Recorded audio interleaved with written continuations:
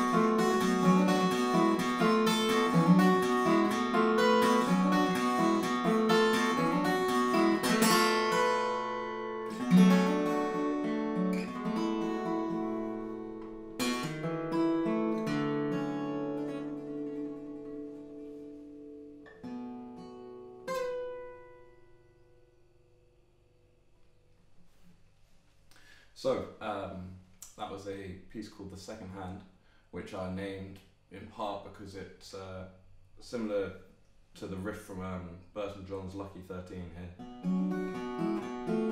And it was from that riff that this whole piece evolved. And uh, I thought, what better way to show how I've been inspired by Bert Jansch than, than this piece, which you know takes directly from his music.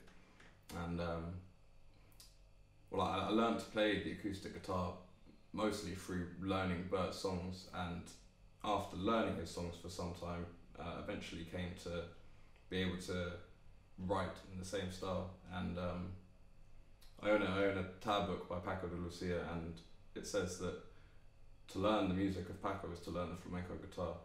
Well, in much the same way, to learn the music of Bert Jansch to me is to learn the acoustic guitar, and uh, it's how I learned.